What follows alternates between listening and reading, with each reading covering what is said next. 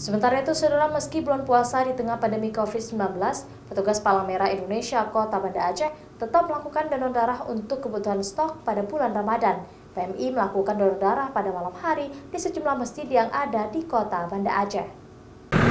Petugas Palang Merah Indonesia PMI Kota Banda Aceh selama bulan puasa melakukan donor pada malam hari usai sholat terawih di sejumlah masjid yang ada di Kota Banda Aceh karena kebutuhan darah selama bulan suci Ramadan di tengah kondisi pandemi COVID-19 semakin meningkat.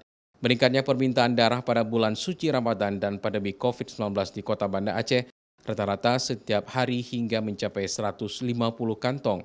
Namun PMI hanya mampu mencukupi kebutuhan pasien yang tersebar di sejumlah rumah sakit di kota Banda Aceh hanya 10 persen saja dari total kebutuhan darah.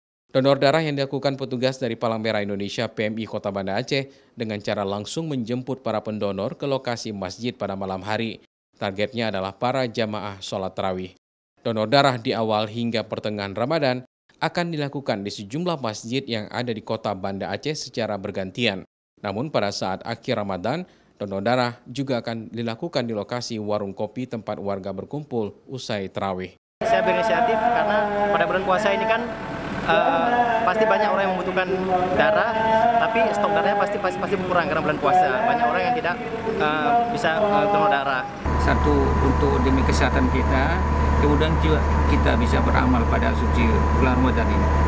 Cuman karena di bulan puasa ini dan dalam uh, masa COVID ini, jadi donor itu kurang ke kantor. Jadi kami menjemput bola untuk datang ke masjid-masjid.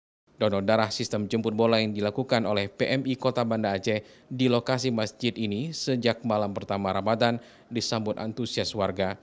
Warga malah menjadi ladang amal untuk mendonor darah saling berbagi kepada yang sedang menjalani perawatan di rumah sakit sangat membutuhkan sumbangan darah di bulan suci Ramadan ini. Raja Umar, Kompas TV, Banda Aceh.